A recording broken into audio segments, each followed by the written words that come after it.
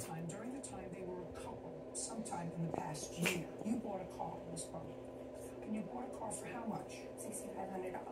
And the car's in your name? Yes. And after you and Miss Johnson.